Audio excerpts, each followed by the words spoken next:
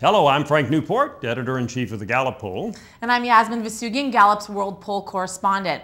YouTube and CNN have teamed up to allow citizens like you to submit questions for candidates via YouTube that may be aired live in the upcoming Democratic debates. Now, not all Americans have video cameras, but I can guarantee you all Americans have questions for the candidates.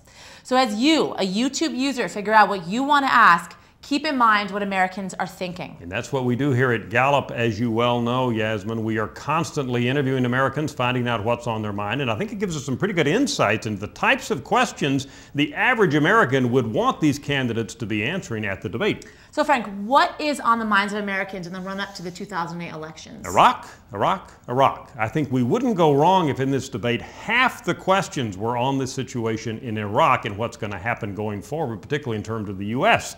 Most important problem facing the country is Iraq. Uh, what do you want the government to be addressing? Is Iraq, based on all our polling, what's the big issue when you think who you're going to vote for in the presidential race? It's Iraq. So Iraq should be the dominant thing these candidates talk about at the debate. Okay, number one, Iraq. What's number two? The economy. 70% of Americans, it's an amazing figure. Seven out of 10 of Americans say the U.S. economy is getting worse, not better. Big economic angst out there, despite the fact that the stock market is up and a lot of other objective indicators look positive. Average Americans worried about health care, worried about outsourcing of jobs, worried about paying off the credit card. Good questions for the candidates. What are you going to do about the economy? Okay, so we have Iraq, we have economy, number three.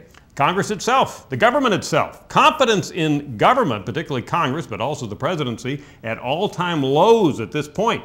Americans simply not convinced that these men and women we send off to Washington and the president are really doing anything that represents what Americans want them to do. So I think some key questions to these candidates in the debate would be what are you going to do to make government in Washington more representative of what the people out in the heartland want you to do? So that's what to consider Iraq, economy, and the government. That's it. If okay. the questions focus on those areas at the debate, it would be right on with American public opinion. Great.